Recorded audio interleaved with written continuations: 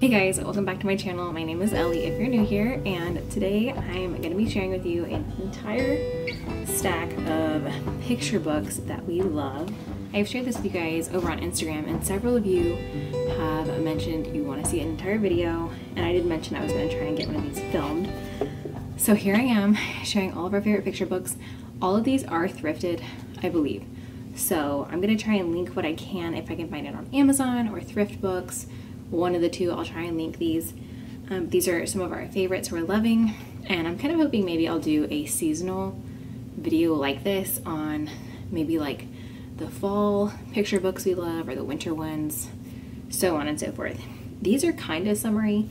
Um, I wouldn't necessarily say that they're just strictly summer, but these are the ones we're loving. And if you guys are new here, Noble is my oldest son. He is two and a half, and then I have a one year old son. So right now I mainly just read to Noble in the mornings when he wakes up and then nap times and bedtimes and then pretty much whenever he wants me to read a book to him. So we have like different baskets around our house. There's one over here and it's like a huge basket that I have all just like paper back books in. And then I have one over here that has board books in. And then I'm planning on getting a couple more baskets to go upstairs in the boys' room to store more books because that's one thing I've decided I don't care about being a minimalist on just because I find so much value in them. And so does um, Noble. And I kind of just want to feed that love for reading in our kids. So books are something I want to constantly have a fresh stack of, and that doesn't mean they have to be brand new. Finding them thrifted saves you a ton of money, and you find lots of new titles you've never read before, and they're usually some of them are really good condition, some are well loved. Either way, we love books. So let's go ahead and get started. I don't really have a rough number on how many there are that I'm going to share with you. I just picked all of our favorites we're loving, and I am going to be doing a blog post on this soon, and that way you guys can go and save it to your Pinterest board to be able to look at later. So let's go ahead and get started, and I'm going to share all of our favorite books. I'm going to start off with some favorites that I'm like obsessed with, and these are some that Noble loves too. I actually found think both of these at a thrift store. I'm not really sure. So the first one is Maple. This is the cutest book ever. This is by Lori Nichols, and evidently it's from this Dolly Parton's Imagination Library that they send you books in the mail, which I think is actually kind of cool. I'm to look into that because several books I've thrifted have come from that. Um, but I love this because it has the cutest illustrations and cutest little storyline. And if you guys aren't familiar with Charlotte Mason, she talks about living books, and that's kind of just books that are going to help your children learn about nature or the world or have a really good story behind it and it's not anything that's you know really cheesy or there's no thought put into it it's just something that has really good vibrant illustrations that is going to spark creativity there's lots of different meanings behind it but it's just a summary so I kind of like to go off of that, looking for books. Um, yeah, this is talks about a maple tree and her sister. It's so cute. So this is definitely one that we are loving. Noble loves this one. And then this one, this is called Miss Maple Seeds. Again, it's from that Dolly Parton's Imagination Library. This is by Eliza Wheeler, and Noble loves this one. This one I personally like reading too because the illustrations are really beautiful and the storyline is so cool. Here's just a glimpse. And I love this one because it kind of teaches them which seeds come from which trees. And so Noble knows the acorn. We have a maple tree in our backyard that puts these off every spring. And so he knows what these look like. He calls these maple seeds. And so I've been able to teach him what certain seeds look like and what trees they come from. Um, but this storyline is really cute. It's about this lady named Miss Maple, and she gathers seeds and cleans them up and takes care of them, and then spring comes and she helps helps them fly away so they can go grow, and just really cute storyline. So we really like this one, really cute. The next ones we have been loving are several that have been illustrated by Marla Frazee. This is Everywhere Babies. This is the cutest book ever. I think I thrifted this off of Thrift Books. It's by Susan Meyers. and it's like the cutest little story just about babies. I love Marla Frazee's illustrations, so we really like that one. The next one that we have loved, this one Noble loves too. This is called Bunny My Honey, and if you guys are familiar with the author who wrote Guess How Much I Love You, the girl that illustrated that book is Anita Jeram, and she wrote this book. This book is the cutest thing ever. They have another one to this too. Um, but again, I love the illustrations. Noble loves the very beginning pages because we'll go through and he'll tell me what each one of these things are, the pine cone, the apple, the snail, the mushroom, the acorn, and then throughout the book you can try and find all these things. Yeah, this one's so cute. I just love her illustrations. They're precious and Noble loves them too. So just really sweet. So we definitely love this one. Okay, the next couple ones.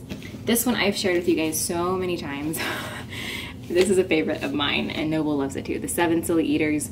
If you guys are new to my channel, I talk about this book a lot. It's so cute. Um, the illustrations are by Marla Frazee as well. It's actually written by Mary Ann Hoberman. Super cute, just really cute illustrations, really detailed. Noble loves looking at all the things in the pictures and talking about them. And there's like different seasons, like there's the fall. So yeah, we love this one. Okay, and a couple more. This is a very original book that most people probably own. This is Corduroy. I recently found this at a thrift store and Noble loves this book already. And I know they have several different like knockoff stories of Corduroy but this one we've been reading a lot and Noble loves. Okay, the next one, this one I think I thrifted recently. This is called Going to Sleep on the Farm. This is by Wendy Cheyette Lewison and it's really cute because it talks about this little boy and dad on one side and he's asking, it's a toddler boy, and he's asking his dad how do certain farm animals go to sleep and then he's telling him and then it talks about all the different farm animals on the farm and when they go to sleep. Just really cute. So Noble loves this one. A couple more that you guys are probably already familiar with, and that is Thomas the Train. Noble really loves Thomas. And so I've thrifted several different ones. This one, um, he likes the special delivery. Honestly, any Thomas books, Noble loves. So this one's kind of cool. You read one side and then you flip it, and then you can read another story. This is called Thomas and the Frank Cars. And then this is a Dr. Seuss book, Stop Train Stop. And that's another good one.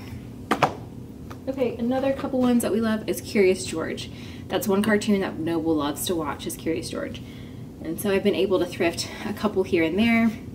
I think we have a few more upstairs in their room. Um, but Curious George, Dinosaur Discovery, he loves this one. And then this one I thrifted. It's actually really old. It's been colored on and stuff, and it's very well loved. But this was actually, the last copyright was 1975. So this is a really old book. This is probably an original um, one that it's probably from some grandparents or something, but really old, very well loved. You can tell this has been read so many times. Um, but we read through this one a lot because Noble loves this one. So Curious George is a favorite. Okay, and the next one, we love Little Bear. They actually do have a cartoon I remember watching when I was little, so we put that on for Noble a couple times. There's a fly on my camera. And so I have a couple of these. These are just like the Little Bear chapter books. And what's great about these is they do have pictures. And so I can like read a chapter here and there and Noble will still sit down and listen and look at the pictures and so it, these can hold his attention because they do have all these pictures in them. Um, but really cute illustrations. The little bear is always really fun. The next couple ones that we love are the My First Little House books. And these are the only two we have right now. We have Dance at Grandpa's and then Winter Days in the Big Woods. So I have my eye on a couple more of these that I would like to get. And these again have great illustrations really catches Noble's attention and he will sit through and let me read these to him. So yeah, so evidently they have like a whole slew you can choose from. So we definitely love these. especially because they're Little House on the Prairie, and I remember reading these as a little girl, and I feel like these can be gender neutral, like boys or girls will love these. So, really like those. Okay, the last couple ones, we really like Berenstain Bears. So this is the only one I've thrifted. It's graduation day. Um, but I feel like Berenstain Bears is really wholesome and they have really good morals and values behind the storyline. I remember watching this when I was little too. So, just very classic. Okay, couple last two that I thrifted. This one is Black Bear Cub. And this one is really fun because it actually has really uh, cool illustrations. Like there's a woodpecker, there's like bumblebees, and lots of illustrations and pictures that will hold their attention. Noble loves to like hunt for things in pictures, and so he will like point to certain things and tell you what it is. Likes to find things. This one we've been loving too. Lots of really cute pictures. And then the last one I recently found at a thrift store, and it's one I've been wanting to get for so long, and that's the Money Tree. Really pretty illustrations. This is by Sarah Stewart. And let me just show you a little bit. You guys can kind of see. So yeah, really pretty illustrations. So anyway, that's kind of what I like to look for in books, especially because whenever it's a book that I have to read over and over again, um, I want it to be not only enjoyable for him, but enjoyable enjoyable for me.